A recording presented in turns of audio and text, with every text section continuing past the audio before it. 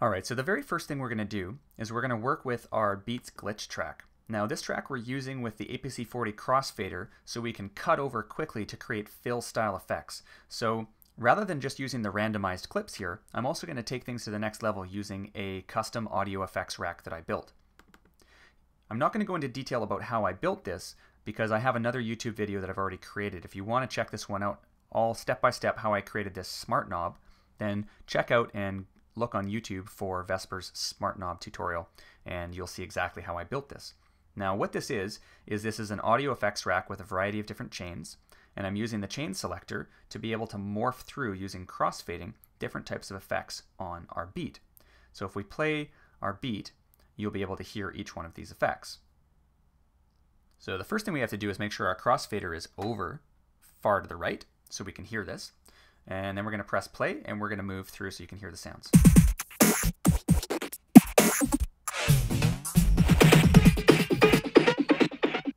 So a whole bunch of different types of effects, and I'm actually going to MIDI map this to a single knob on the APC40. That's the beautiful thing about the chain selector morphing through these effects is if I click here, I can use the chain selector to MIDI map to a knob on my APC40. So now we can simply twist the knob on the APC40 and move through these different types of effects. Now I can show you how we can use the crossfader and this knob to create glitch style fills using the two beat loops.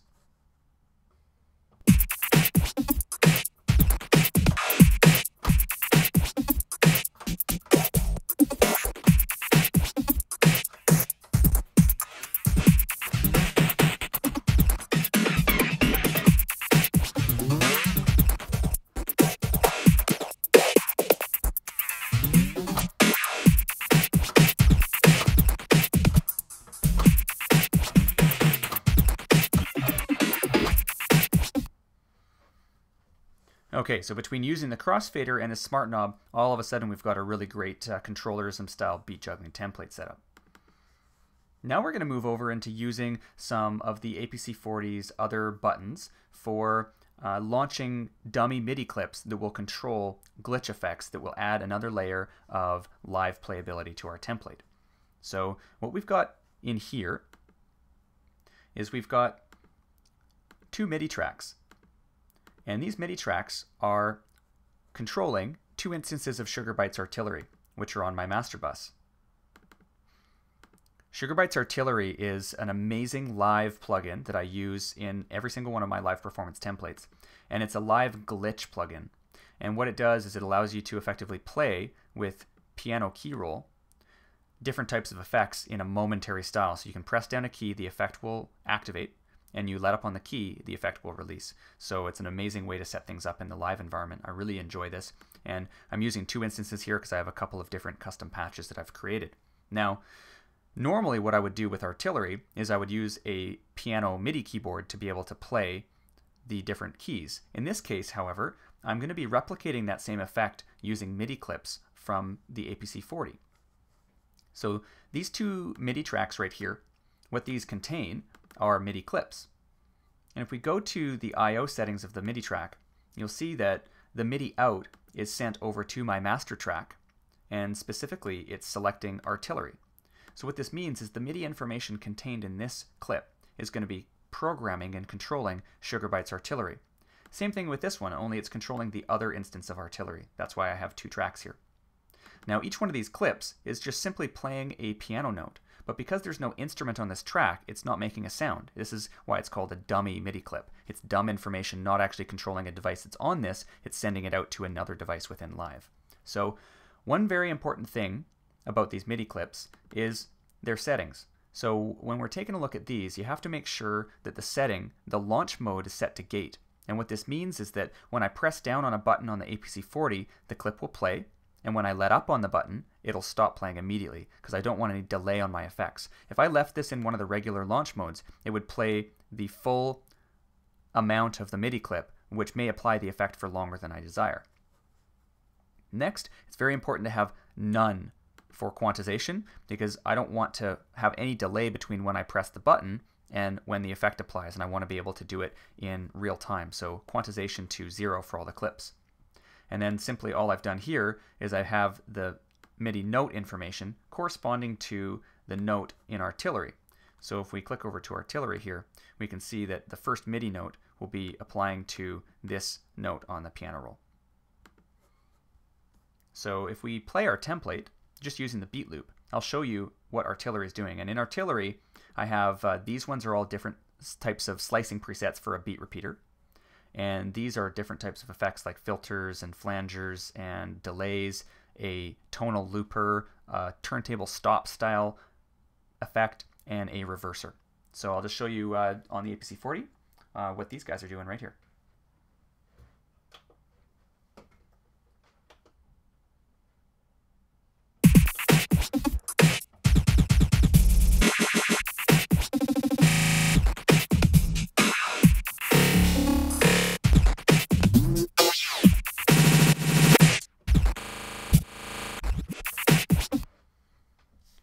So those allow me to have an incredible amount of control directly from the APC40 using one single device. There's no Max for Live that's being used here. Um, the only third-party effect I'm using is Sugar Bytes Artillery, and uh, in a lot of cases, actually, um, some of the effects from Sugar Bytes Artillery can be recreated using stock effects in Live, such as the Beat Repeat plugin. I just like Sugar Bytes Artillery because it has um, uh, a wide range of effects built into one single plugin, which I find useful. The last thing I have in my live performance template is a fairly complex audio effects rack that I designed. Uh, I've shown how I created this one uh, in one of my other YouTube videos as well. And this is using the macros in the audio effects rack. And these are all designed to be mapped out to eight knobs on the APC40. So on this audio effects rack, you can see I have a low pass filter, I have a high pass filter, a bit crusher, so a Redux plugin in live, uh, delay, which is a very short delay using unsynced delay time, so it gives it a metal sound, a reverb, a frequency shifter, and a grain delay.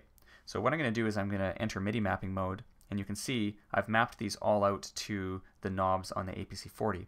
So on my APC40, I'm using these guys to control the knobs on the macros here. And when we press, one of our drum loops playing, for example, or say let's time let's use the sax loop. I'll just show you what this sounds like and its audio sculpting capabilities in a, in a live set template.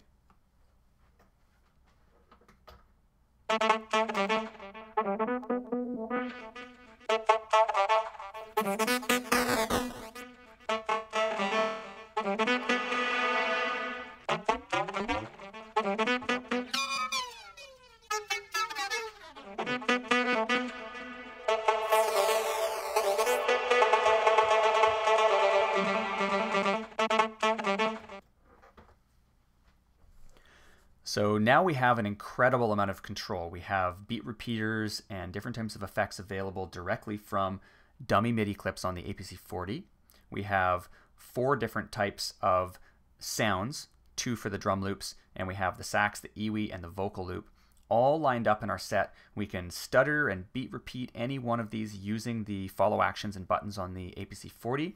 And we also have the audio effects rack and the ability to cut over using the crossfader to make glitch style fills using the smart effects knob that I'd created in the other tutorial. So very, um, you know, it might seem complicated, but once you've set up these racks and once you've created this template, it's actually very simple to use.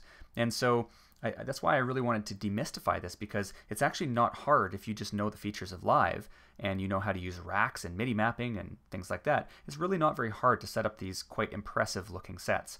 And although I've seen quite a few of these uh, very impressive looking videos on YouTube, I've never really seen anybody go through and take the time to explain behind the scenes, you know, under the hood, how you might want to set this up. So I hope you guys got something out of this video. Uh, my name is Vespers. I'm a Ableton Live certified trainer, and I do one-on-one teaching online as well as develop video-based educational products for users of Live. Um, I really love the program. I use it every day in the studio and in my live performances, and um, I think one of the things I find the most fun to do is to is to geek out and talk about it with other people. So I really enjoy teaching, and uh, invite you to uh, get in touch if you feel like you could use some help. Otherwise, uh, really hope you enjoyed the video and stay tuned, subscribe, and uh, keep in touch for the next one. Cheers.